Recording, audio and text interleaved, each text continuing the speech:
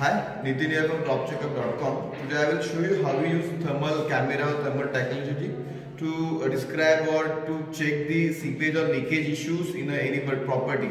So today I will show you the one wall where in the to the neck dive we could not see anything like the seepage or dampness on the wall. Come here, I will show you.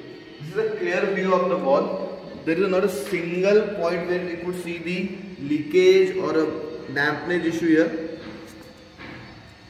Now, now I can uh, show you how we use the thermal camera. This is our thermal camera. We use to detect the thermal camera to seepage or leakage here. So I will show you how it. Now you can see here.